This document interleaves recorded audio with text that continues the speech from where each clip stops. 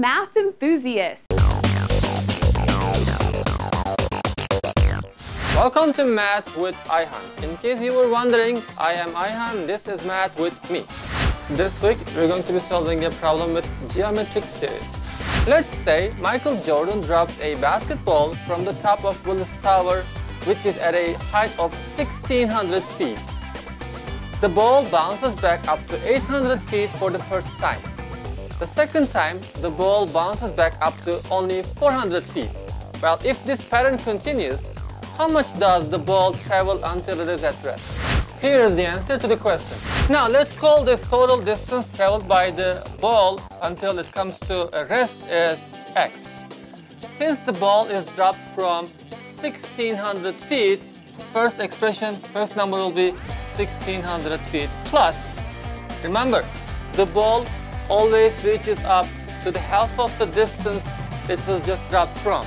So next time it will reach up to 800 feet and it will still come down to the floor. So that's why I'm going to multiply this 2 by 800. Now that it will bounce back up to half of the distance it just reached the maximum in the previous, that'll be 400 times another 2 because the ball moves up and down, up and down, right? So next number will be 2 times half of this 400 which is 200 and so on and this is going to go forever until this, this height becomes zero eventually. So the question is, how can I find the value of this numerical expression?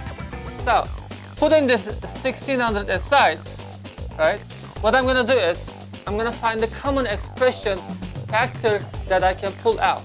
If I simply use 2 times 800 as the common factor and open the parentheses, the first expression I'm going to left, be left with here will be 1 plus 2 times 400. Since I divided that by 2 times 800, which is common factor, I'll be left with 1 half, right? And then my third expression will be 2 times 200 divided by 2 times 800.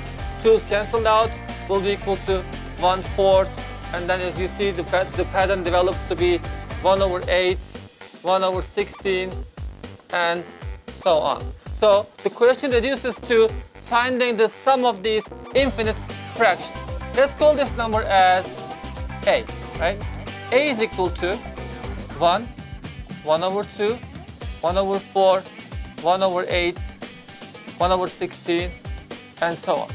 If I double this, both sides of the expression, this becomes 2a, right?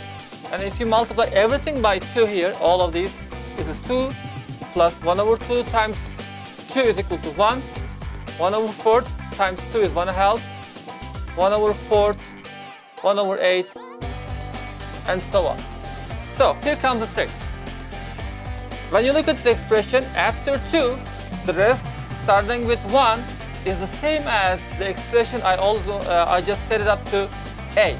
So in other words, I can construct my equation to be 2a plus, 2a is equal to 2 plus this portion which is a. So it just came down to a very simple linear equation to solve where a is equal to 2. Okay, I'm almost done, just bear with me. All you need to do is replace this a in the expression, original expression above, and that's going to be 1600 plus 2 times 800 times another 2, which will give you 4,800 feet. That means the ball will travel 4,800 feet before it came to the rest. Now it's time for math with you. I'm going to give you our problem of the week and I need you to help us solve it in the comments. Here's the question. What is the sum of all rational numbers in the form of 1 over 1 times 2 plus 1 over 2 times 3 plus 1 over 3 times 4 plus all the way up to 1 over 99 times 100. Don't forget to watch next week's video for the answer. Thank you so much for joining us. Be sure to check back every Friday for a new video, and don't forget to subscribe to our channel. In the meantime, check out our website and our social media